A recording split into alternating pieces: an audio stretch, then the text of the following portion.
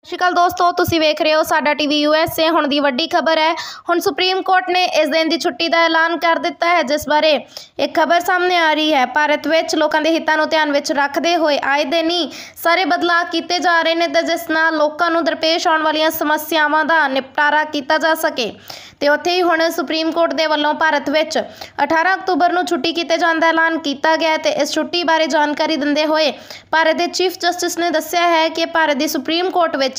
ਸੋਮਵਾਰ 18 ਅਕਤੂਬਰ ਨੂੰ ਛੁੱਟੀ ਦਾ ਐਲਾਨ ਕਰ ਦਿੱਤਾ ਹੈ ਇਸ ਤਰ੍ਹਾਂ 18 ਅਕਤੂਬਰ ਦੇ ਦਿਨ ਨੂੰ ਦਸੰਬਰ ਮਹੀਨੇ ਦੇ ਵਿੱਚ ਇੱਕ ਕੰਮਕਾਜੀ ਦਿਨ ਦੇ ਦਿੱਤਾ ਜਾਵੇਗਾ ਜਿਸ ਬਾਰੇ ਜਾਣਕਾਰੀ ਦਿੰਦੇ ਹੋਇਆ ਦੱਸਿਆ ਕਿ ਅਕਤੂਬਰ 18 ਅਕਤੂਬਰ ਦੇ ਦਿਨ ਦੀ ਜਗ੍ਹਾ ਤੇ ਅ,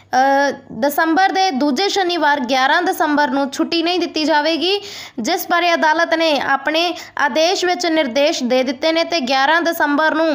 ਇੱਕ ਕੰਮਕਾਜੀ ਦਿਨ ਹੋਵੇਗਾ ਉਸ ਦਿਨ ਸਾਰੇ ਕੰਮ ਕੀਤੇ ਜਾਣਗੇ ਤੇ ਕੋਈ ਵੀ ਛੁੱਟੀ ਨਹੀਂ ਹੋਵੇਗੀ ਤਾਂ ਦੋਸਤੋ ਇਸ ਵੇਲੇ ਦੀ ਵੱਡੀ ਅਪਡੇਟ ਹੈ ਇਸੇ ਤਰ੍ਹਾਂ ਦੀਆਂ ਕੁਝ ਨਵੀਆਂ ਖਬਰਾਂ ਸੁਣਨ ਦੇ ਲਈ ਵੇਖਦੇ ਰਹੋ ਸਾਡਾ ਟੀਵੀ ਯੂਐਸਏ ਤਦ ਤੱਕ ਲਈ ਇਜਾਜ਼ਤ ਦਿਓ ਧੰਨਵਾਦ